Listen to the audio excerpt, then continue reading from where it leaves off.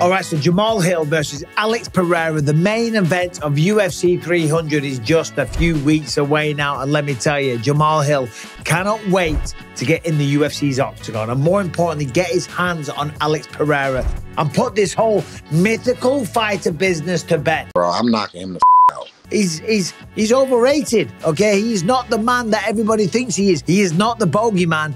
And this fight is a mismatch. That's according to Jamahal Hill, the former light heavyweight champion of the world that became the champ by going out there and beating Glover Teixeira, the coach of Alex Pereira. Okay, all the Raras and the Teixeiras and all the rest of it.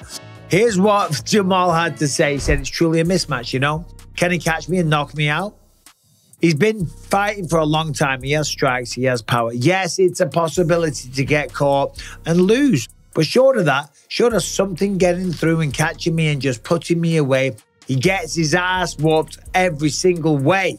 He only has one way to win this fight. One way. Yeah. He's not gonna. Anybody who thinks he's gonna outclass me is out of their minds. This man only has one way to win this fight.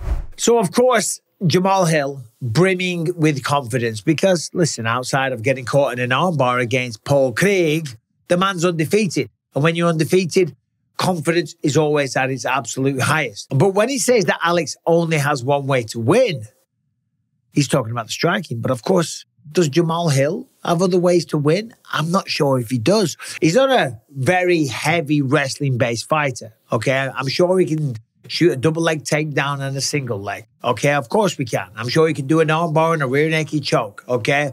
But is he likely to do that in a fight? Is that the way that he fights? Is that the way he wins? Is that the way he became champion of the world?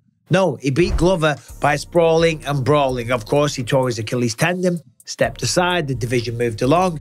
Alex beat Jiri, and Alex beat the fourth former or current champion in only seven fights in his career which kind of got me thinking because that is a remarkable achievement. Alex Pereira has done some massive, massive things. So Alex Pereira, only 36 years old and only with a record of 9 and 2 in mixed martial arts. Of course, the man lost his MMA debut. Okay, he got caught in a rear naked choke. The man's a kickboxer when he was a Glory Kickboxing two weight division champion. He was one of the baddest men on the planet and a man that actually beat Israel Adesanya twice in Glory Kickboxing. Of course, since then, he's been almost untouchable. He does have that one loss via knockout to Israel Adesanya in the rematch.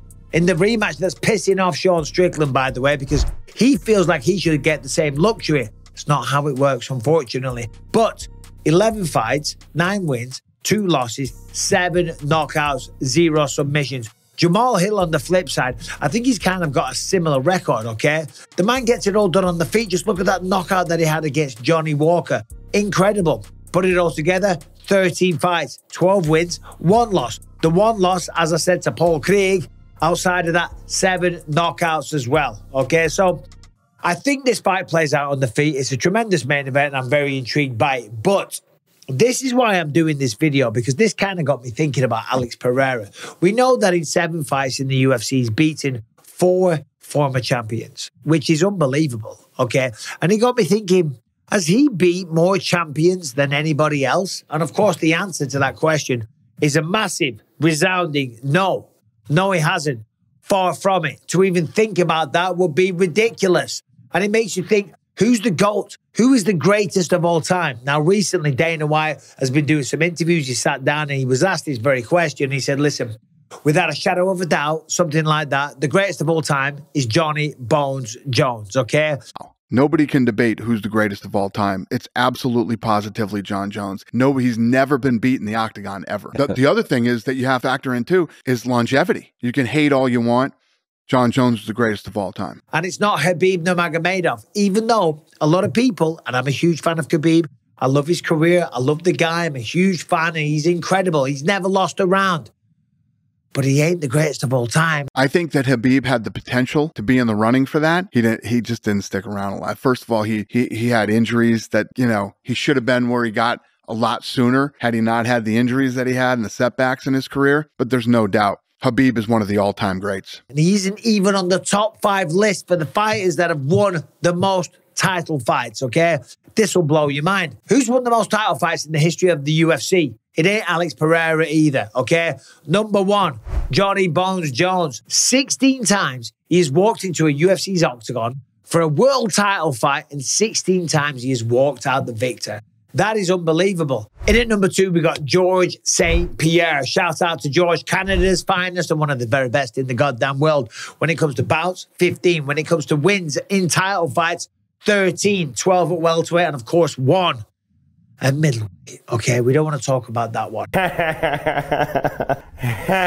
now, tied with George at number two is Randy the Natural Couture, who actually had 15 title fights, but he went nine and six. Won nine, lost six of them. So very, very impressive. The fact that you step into 15 title fights is insane, but still no mention of Alex Pereira, certainly no mention of Khabib. That is not a slight. I am not talking shit. Number four, Demetrious Mighty Mouse Johnson, a man that always kind of gets forgotten about. A man that was just grappling and beating a 260 pound jiu jitsu player. Demetrious Johnson is nowhere near 160 pounds. And at 125 pounds, where he competed 14 title fights, you're making a lot of money when you're stepping into pay per views, when you're fighting for the belt, when you're taking a percentage of the revenue, you're making some proper dough. And for Demetrious, 14 title fights, 12 wins, two losses, one of which was, of course, to the king of cringe, Henry Cejudo. And who's number five in the top five of title fights of all time? The number of title fights, of course, it is my old friend, Anderson Silva the Spider.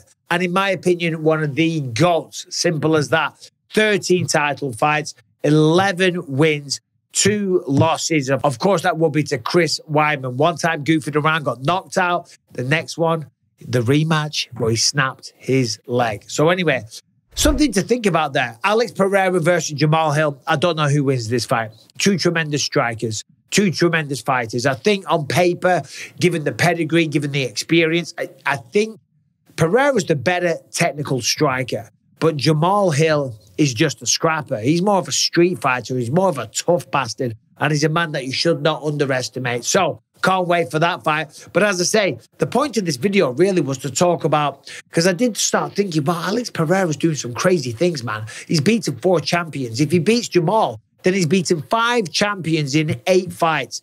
That's insane. It's like the man only fights champions. He certainly only fights the very best fighters out there. And I thought, has he fought and beat the most champs? Of course, I was miles away. Okay, Jon Jones won, George St. Pierre, Randy Couture, Demetrious Johnson, and Anderson Silva. And of course, on that list, there was nowhere to be seen the name Khabib Nurmagomedov. This is number one bullshit. But that doesn't matter. Khabib is the GOAT for other reasons. Undefeated, that's definitely something to be respected. The man never lost a round again. That kind of creates this narrative that the man was just unbeatable. But what makes it a GOAT, in your opinion?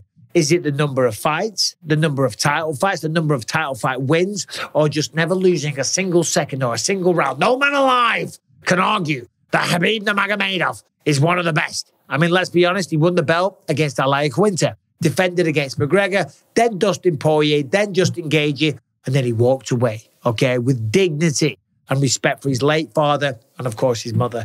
Um, anyway, what do you think about Alex Pereira and Jamahal Hill? Do you think Alex Pereira is overrated? Do you think Jamahal Hill is maybe underestimating him a little bit? And what do you think about that top five list? You know? Anyway, who would be your goal? Lots of things to talk about. Come at me in the comment section. Hope you're all well. Subscribe, ring the bell, and I'll see you soon.